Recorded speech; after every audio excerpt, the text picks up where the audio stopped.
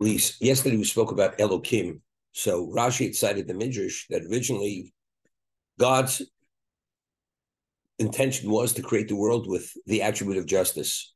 So we spoke about even though that concept we're only we're used to hearing it only in terms of evaluation of record, but the attribute of justice is exactness. That's what it means.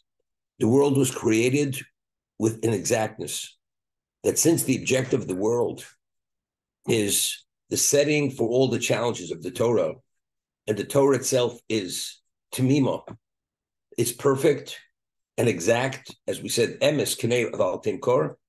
Therefore, the world has to reflect that exactness.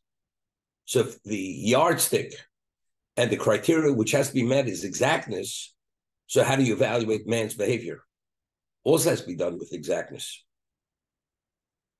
But I just want to point out something interesting. I asked the question.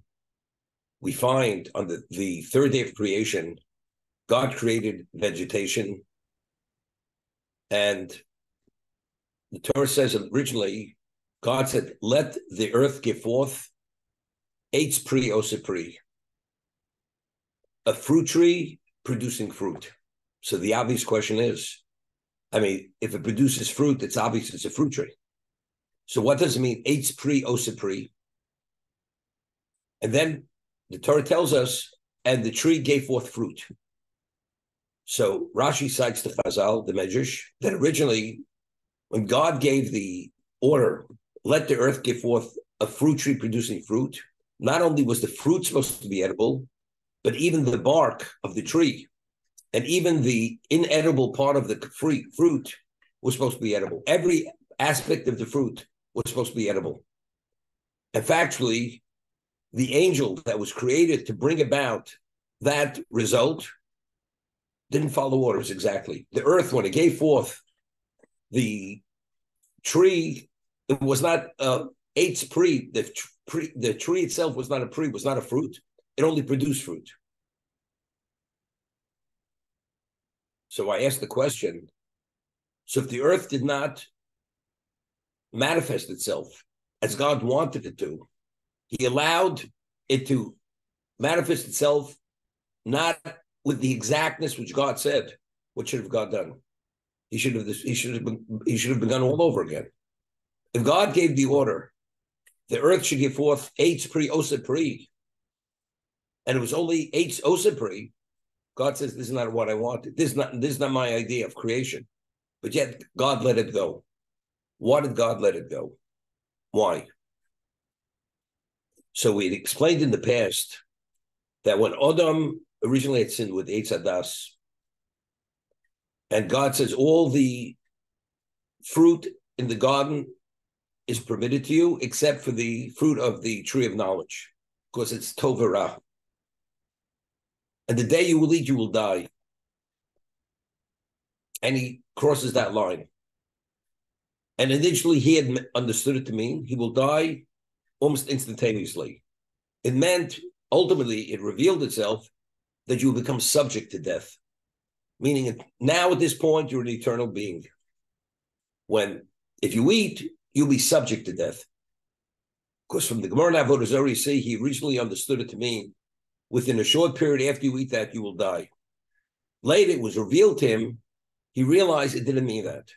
Subject to death. I mean, if God said don't eat, and he crossed that line, God should have ended it right there. It should have meant you, you death means it's like a take, person takes something lethal, which the body cannot process. He should die immediately, and it is lethal.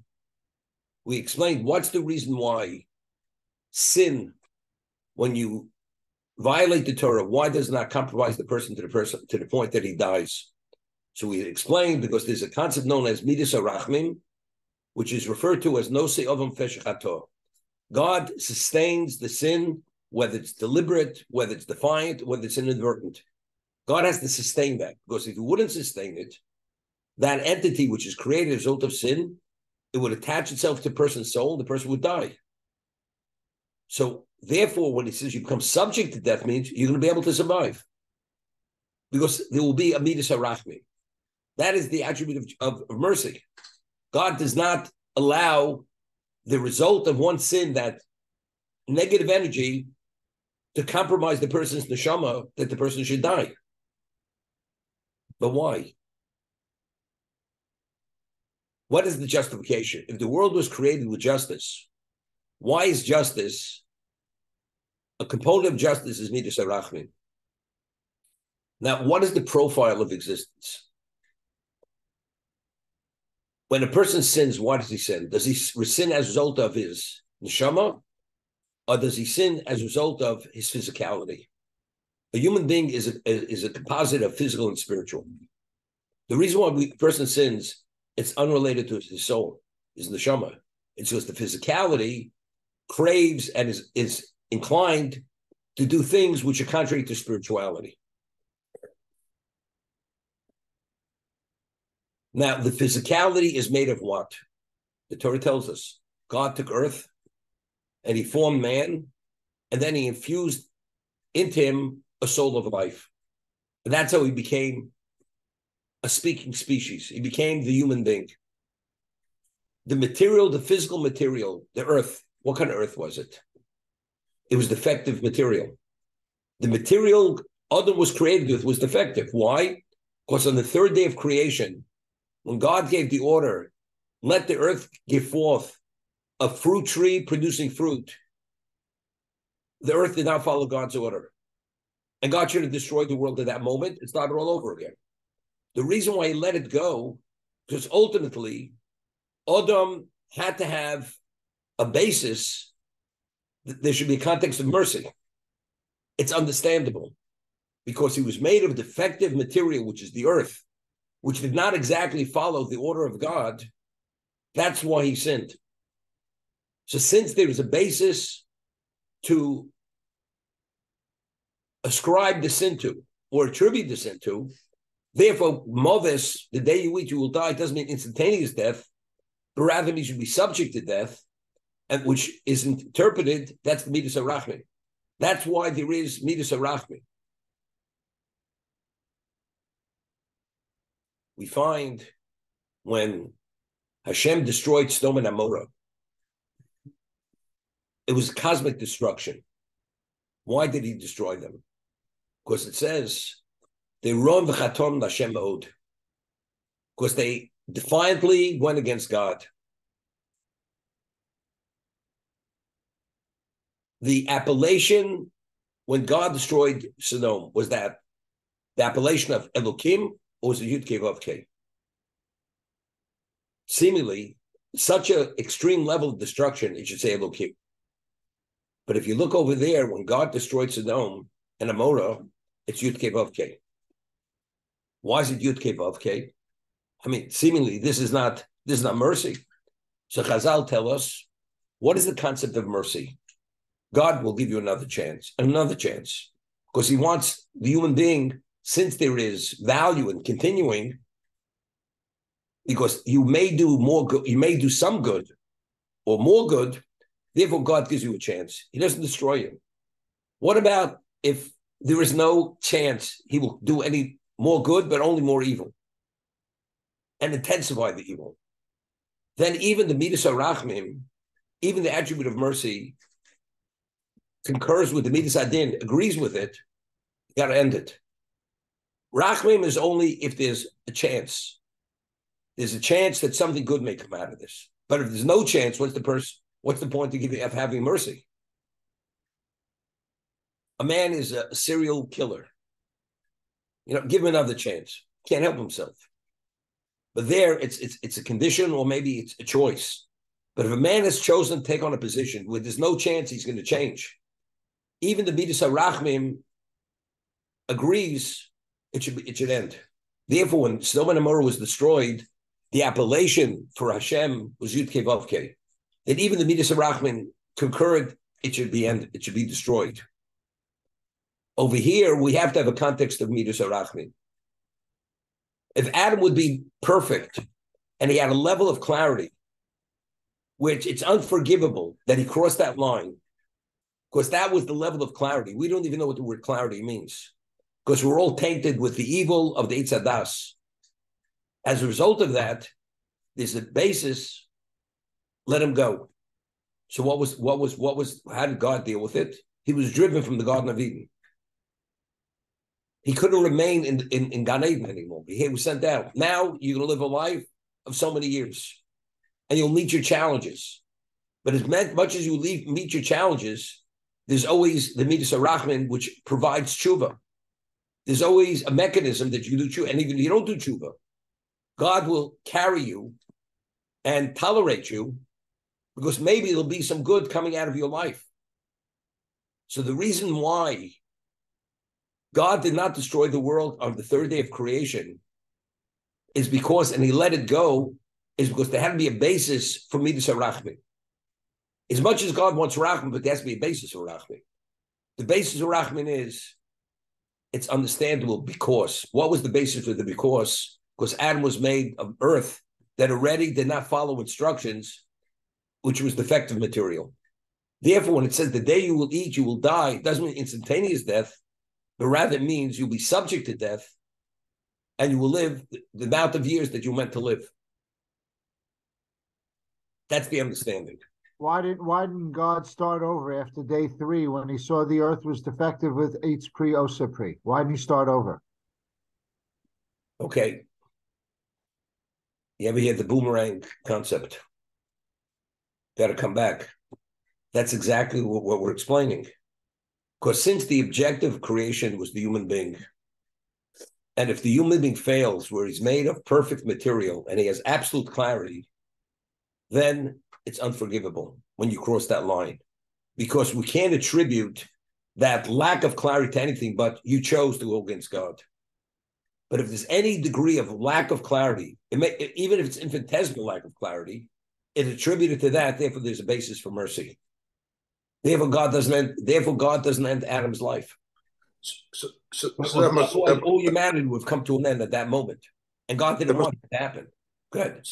That that must mean that the third day was with intent. Not not intent like this.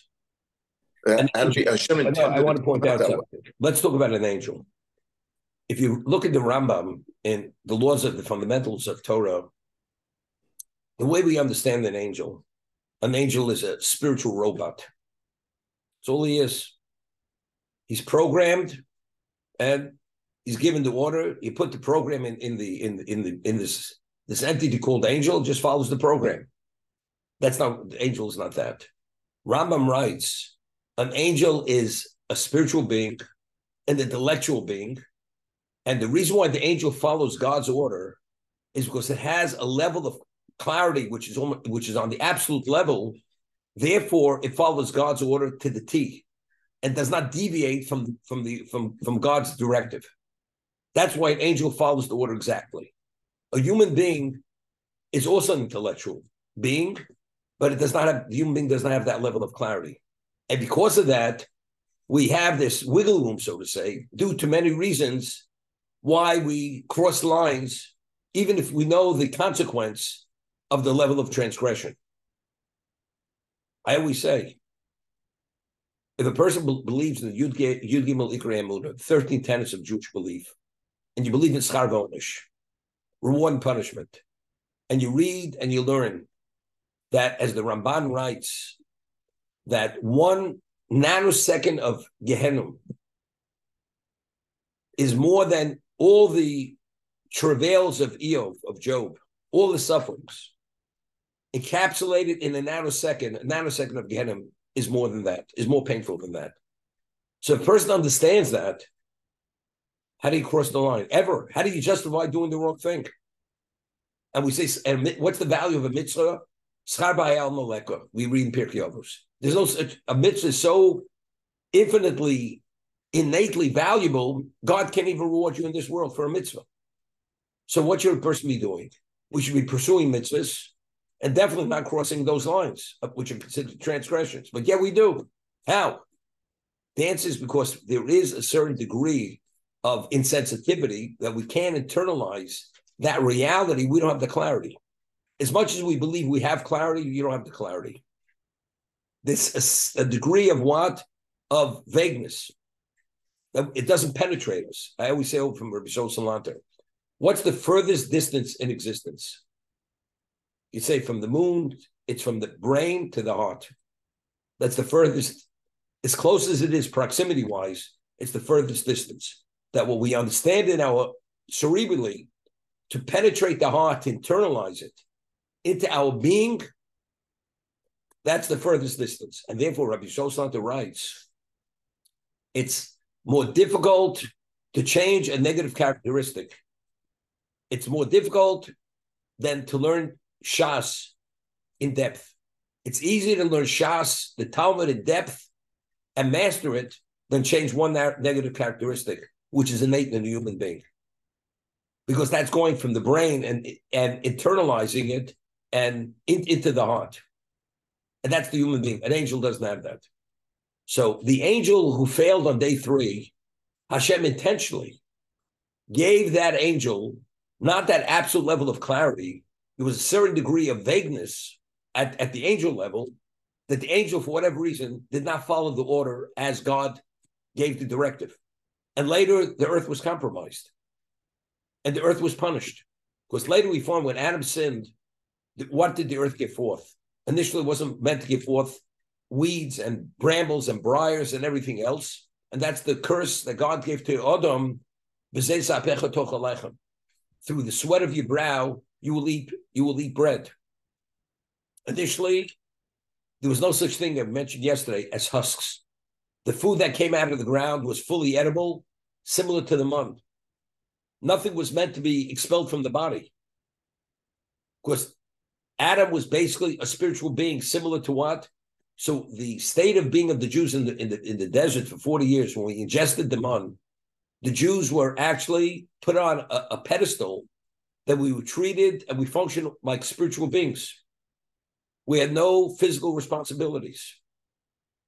What we drank, what we ate, was absorbed in our inner organs. There was no there was no waste. We had no physical responsibilities.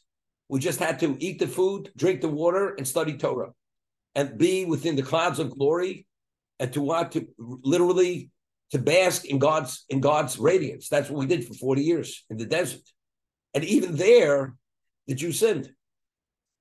We read many times the Jews were, and and that's why there was midas adin. There was there was the attribute of justice in the midbar. Because since the level of clarity was at that acute level, how do you justify crossing those lines? It can't be attributed, it was a lack of understanding. But still, we're still descendants of Adam. So we still have a trace of that evil, that Ra, which doesn't allow us to have that absolute clarity. Therefore, there's a Midas Arachmin. Even with all the Midas I did, there's Midas Arachmin. There is the attribute of mercy. So because God knew Adam, the objective of the world is Man has to have challenges. Man has to survive. But if there's justice, it has to be within the context of justice. And if there's no base within the context of justice to allow it to continue, God has to end the world. But God doesn't want to end the world. Therefore, on day three, he allows the angel not to have that absolute clarity. And it's up, and the angel fails. As a result of that, the material which man is made of is defective. Therefore, there's a basis for mercy within the context of creation. Is there any discussion as ask, ask the question, Mark? If God is perfect and only creates perfect things, then how did he? God is perfect and he could create a perfect world. But if he creates a perfect world, then there's no basis for existence and there's no basis for challenge. Let's get back to fundamentals. God created a human being to be the beneficiary of what's absolute good, ultimately. So the question is, he should have created a soul, and the soul should exist in a perfect world to bask in God's glory. What do you have? What does the human being have to put in a physical setting to have challenges? And only if you make the right choices do you have relevance to that absolute good of God, which is what we call the world to come? It's a basic question. And the Ramchal discusses this in a, a number of pla- places. In the Derech Hashem, in the Daas Tevunos. in the knowing God. So he explains, as we mentioned yesterday, I alluded to it a little bit. God wants the human being to be the ultimate beneficiary of good.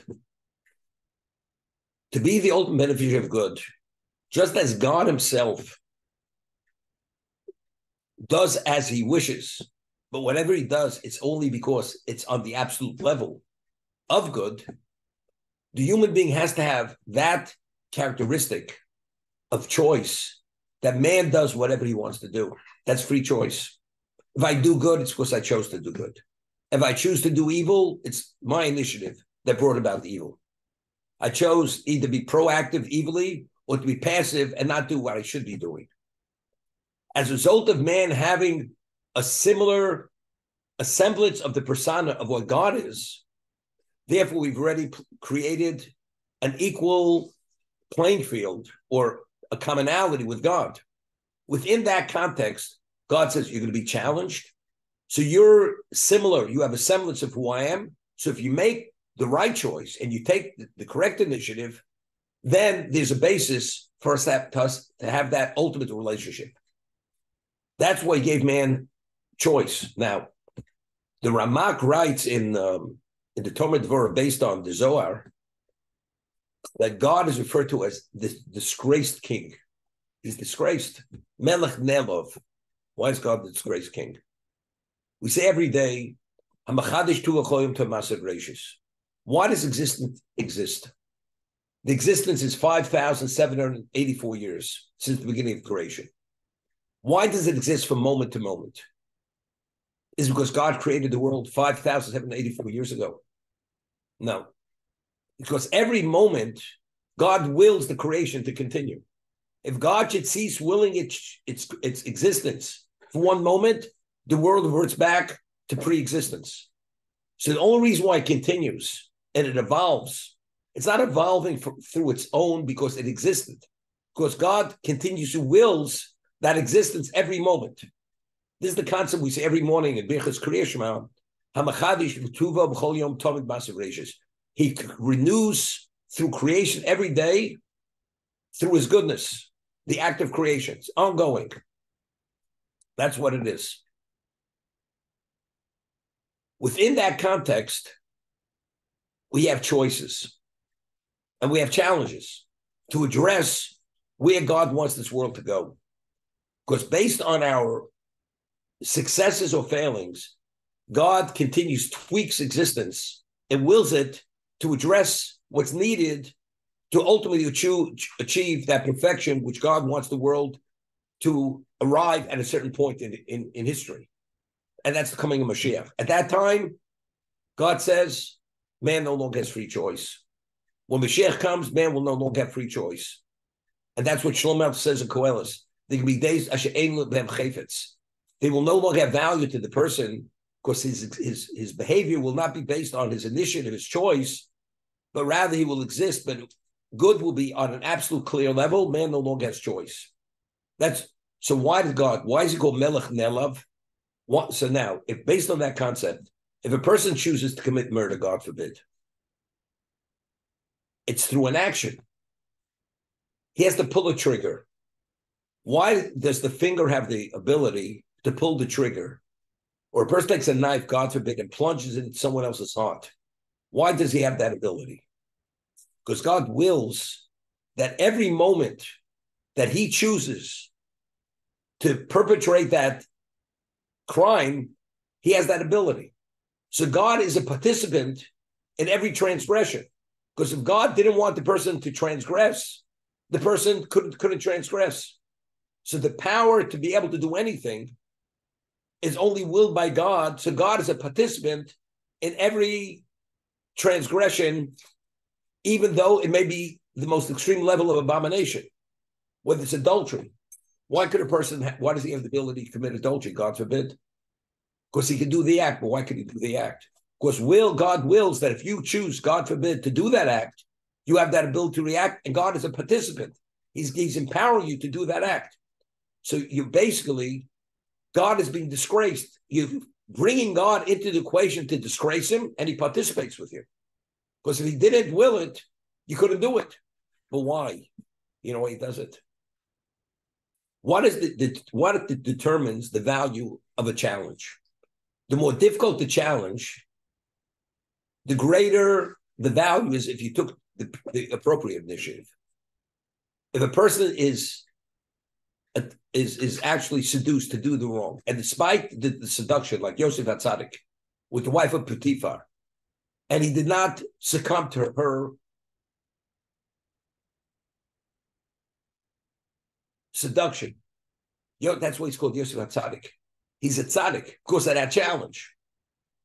But if he wouldn't have been challenged to that degree, she wouldn't have been the beautiful woman, and he would have had naturally no interest in her. Not a Yosef Hatzadik. You know, even the ordinary person will walk away from such a thing. But here, the temptation and the whole setting was so overwhelming. Despite that, Yosef said, "Can't do it because I can't sin against God, regardless of how attractive and how seductive the whole setting is."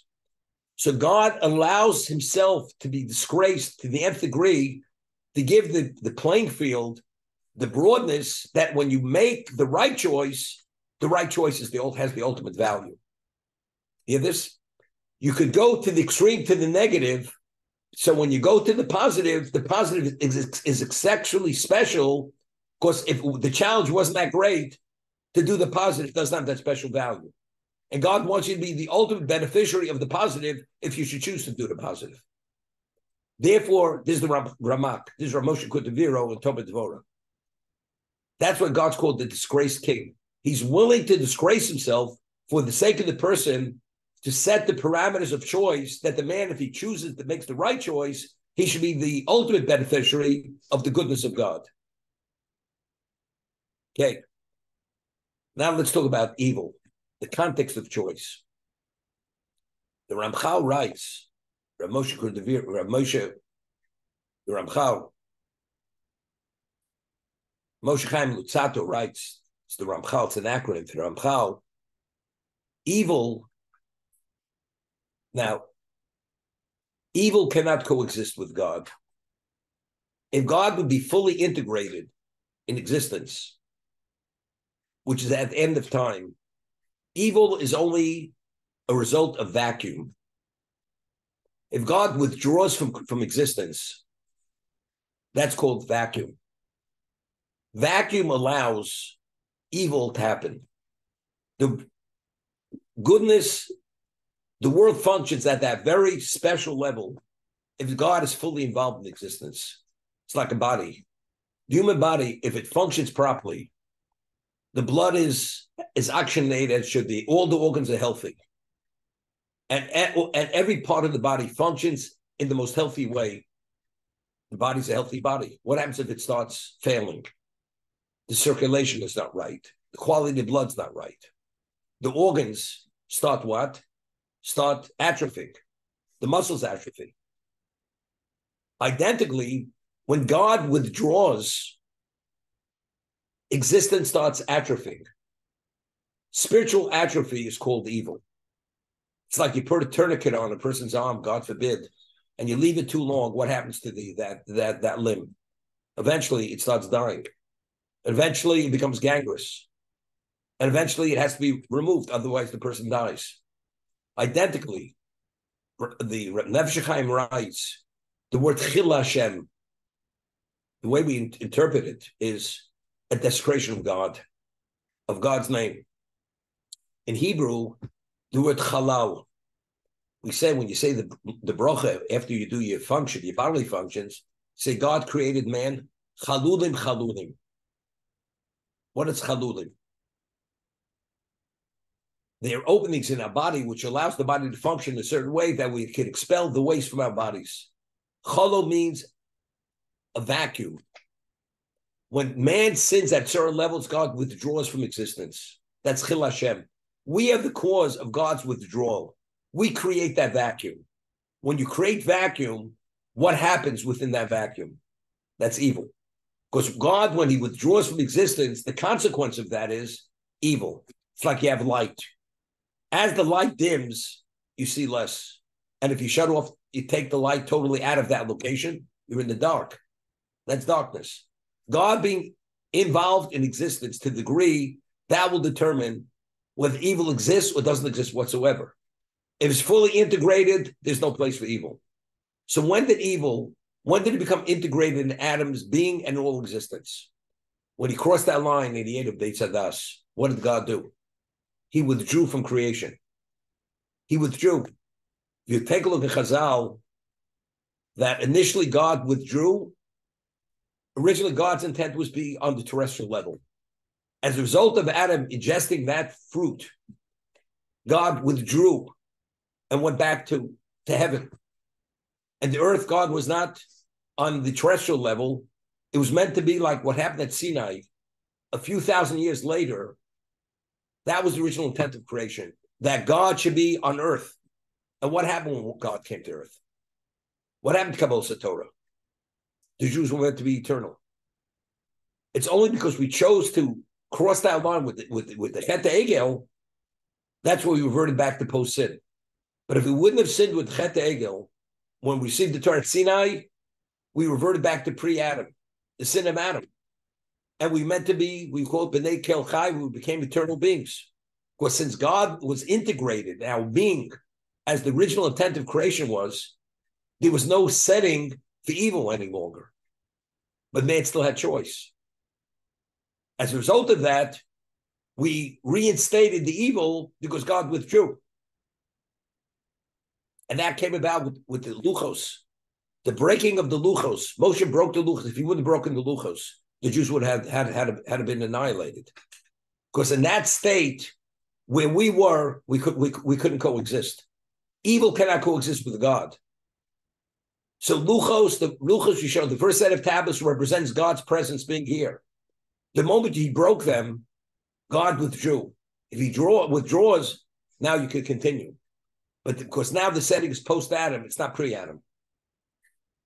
And therefore, when Moshe broke the Luchos, what what what did Hashem say to, to Moshe? Asher shibarto. shibarto. I give you a yashakoach that you broke those tablets. Because if you wouldn't have, I would have had to destroy the Jewish people and start all over again. You know, as Ramban writes within his introduction, that the Torah itself, from the first letter to the last letter of Shemus Hashem, every letter is part of God's name. You have names of God, 72 letter names, 45 letter names.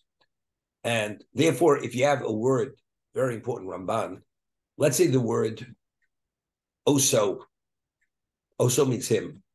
Sometimes it's written in the Torah with the vav deleted. So without the vowels, it can be read ito. So let's say it's meant to be written in the deleted form. If you add that vav, so now there's no question. The way you read it, you read it as if you'd have the vowels there. Is that a kosher Sefer Torah, or it it invalidates the Sefer Torah? If you have a vav where a vav's not supposed to be, although it's read correctly, the Sefer Torah is posul. It's not valid. She says, why? Because the Torah itself is Shem Hashem. Every letter is part of God's name various names. And God only conjugated the letters that the narrative reads as God wants it to read.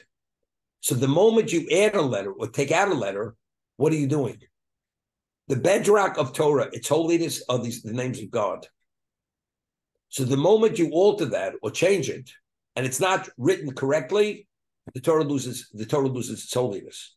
Because the basis for the holiness, the bedrock of the Shem Hashem, of the names of God, Okay, that's what it is. So you so you have to know how to conjugate the letters. So let's say every other, the every fifth letter, if you read it on a, a diagonal, you read it on a vertical.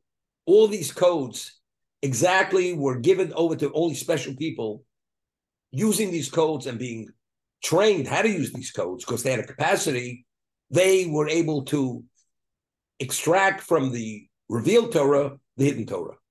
And this is Ravina Rav Ashi, how they integrated and concealed into the revealed Torah, the hidden Torah. That's how it was preserved until the end of time.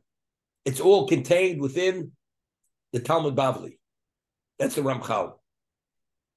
Okay, ready for the halacha.